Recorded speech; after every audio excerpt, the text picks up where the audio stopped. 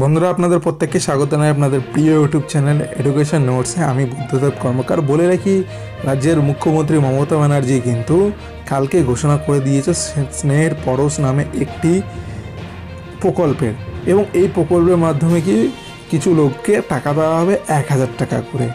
এবং বলে কি আমি যেহেতু বর্তমানে গুগল প্লে স্টোরে রয়েছে, স্নেহের পরশ নামে একটা অ্যাপ আসবে, সেই অ্যাপের মাধ্যমে রেজিস্টার করার পরে কিন্তু আপনারা সেই সুবিধাটা পাবেন। বর্তমানে এখনও কিন্তু এই প্লে স্টোরে কিন্তু অ্যাপটা নেই। যখন চলে আসবে, আমি ভিডিওটা ডেসক্রিপশন বক্সের লিঙ্কে ডেসক্রিপশন বক্সে কিন্তু লিঙ্ক দিয়ে দিব। আর সোমবার দিন থেকে কিন্তু এই অ্যাপটা আপনারা প্লে স্টোরে পেয়ে যাবেন।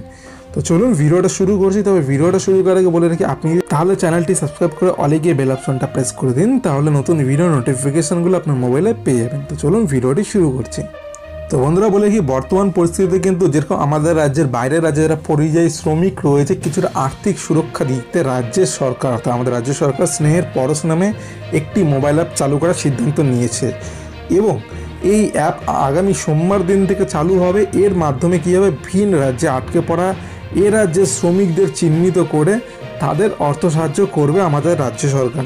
এবং মুখ্যমন্ত্রী মমতা ব্যানার্জি এটাও বলেছে যে, এই অ্যাপের মাধ্যমে নাম নথিভুক্ত করলে তার চব্বিশ ঘণ্টার মধ্যে ভিন রাজ্যে আটকে পড়া শ্রমিকদের অ্যাকাউন্টে হাজার টাকা পাঠিয়ে দেবে। এরকম শ্রমিকরা সংশ্লিষ্ট জেলার জেলাশাসকের কাছে অনলাইনে আবেদন করতে পারবেন। তার যাবতীয় তথ্য চব্বিশ ঘণ্টার মধ্যে যাচাই করে প্রশাসনের তরফ থেকেও কিন্তু টাকার অনুমতি দিয়ে দেওয়া হবে। মুখ্যমন্ত্রী এটা জানিয়েছেন। এর ফলে কি হয়েছে? এর ফলে ভিন রাজ্যে আটকে থাকা রাজ্যের প্রায় দু লক্ষ শ্রমিক কিন্তু উপকৃত হবে। পাশাপাশি মুখ্যমন্ত্রী এই পরিস্থিতিতে কিন্তু জেলা রাজ্য স্তরে কর্মরত যেটা সাংবাদিকরা রয়েছেন ও বিশেষ বিমার আওতা আনার কথা ঘোষণা করেছেন তাদেরও। আগামী একত্রিশে মে পর্যন্ত সাংবাদিক ও তার পরিবার এই সুবিধা পাবেন বলে তিনি এটা জানিয়েছেন। সংক্রমণ প্রতিরোধে উনিশে মে পর্যন্ত সামাজিক দূরত্ব সহ কিছু নিয়ম মেনে চলার আবেদন জানিয়েছেন মুখ্যমন্ত্রী মমতা ব্যানার্জি।